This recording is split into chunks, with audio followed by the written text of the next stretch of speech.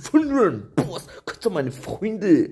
Jean beleidigt einfach Basso und dann hängst du als HS. Verdammt nochmal, Jean, was ist los bei dir, hm? Ich dachte, du bist aus der, Ver ich dachte, du bist in der Versenkung verschollen geblieben, hm? Was machst du jetzt Welle gegen Basso, da hängst du da Flizzy, Mann, hm? Digga, du bist doch am Ende, Mann. Dein Highlight deines, deiner Karriere war, dass du irgendwie auf Sony Rack 2 auf so einer Bonus-EP warst. Ja? Und die meisten haben sich überhaupt gefragt, wer seid ihr überhaupt, hä? Der Boss guckt sich ein paar Boxing an, keine Sau weiß, wer ihr seid, Mann. Ihr seid so ein Bonus, Digga. Ihr seid die Hunde von Sushido. Die schickt er mal hin, wenn er irgendwie mal Stress hat, hier, disst die mal. Aber er traut sich nicht mal selber, die zu dissen, Mann, ne?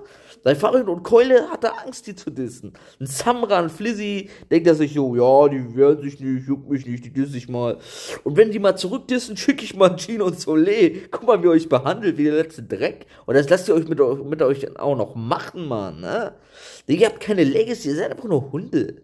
No Front jetzt so. Aber welches Label soll ich denn nehmen nach Sushido? Keins mehr. Wenn Sushido in Kanada ist, lacht er sich ins Fäust und denkt so, oh, ich habe so zwei Wack MC gesigned, die für mich alle dissen. Los, hier, weg mit euch. Erst geht die Junge zu, Insolvenz ab nach Kanada mit mir. Und ihr beide schön auf der Straße, dann könnt ihr Straßenmusik machen. Ihr seid doch so Street-Rapper, ha? Dann könnt ihr am Alexanderplatz für euer, für euer Brot, euer Essen, eure Kippen und alles könnt ihr dann rappen, machen. Ja, ich bin erst guter Junge, ich bin Jean, äh, äh, krieg ich mal ein bisschen Geld für ein Brot und eine Energy Drink.